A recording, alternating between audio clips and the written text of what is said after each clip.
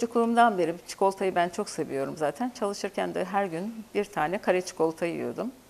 Ee, yani bu aşkım sürekli devam etti. Merak şekline dönüştü. Çikolata üzerine araştırmalar yapmaya başladım.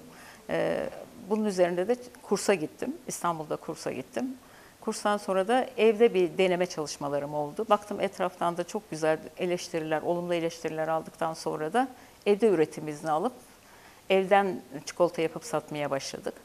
Sonrasında da bu iş biraz daha büyüdü. Evde olması mümkün olmadı.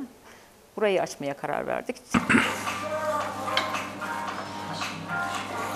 Satışlarımız buradan da yapıyoruz. internetten, Instagram'dan da yapıyoruz şu anda.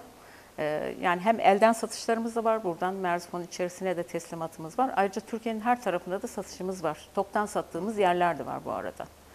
Yani anlaşmamız olduğu yerler var. Toptan olarak belli miktarlarda onlara toplu olarak yapıp yolluyoruz onlara da.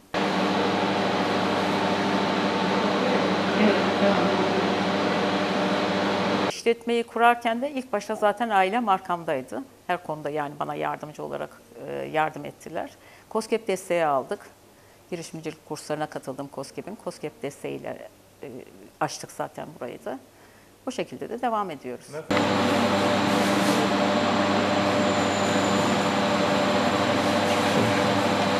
Valla hayallerin peşinden gitsinler. Eğer çok arzu ettikleri bir şeyler varsa hiç bırakmadan ama eğitimlerini alarak devam etmelerini öneririm. Bir de çok araştırmalarını öneririm. Ben mesela sürekli hala araştırıyorum. Instagram'dan bakıyorum. Bazı şeyleri, çikolata şeylerini takip ediyorum. Ee, onun dışında da kendim sürekli denemeler yapıyorum. Sadece hani yapılmışları değil. Evde sürekli mesela o çikolatanın içine başka bir şey katıyorum.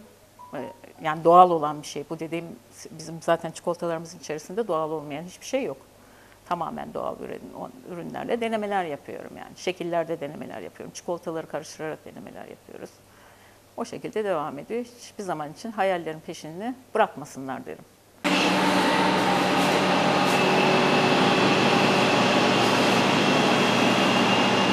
Kadın girişimcilerin her zaman e, destekliyoruz.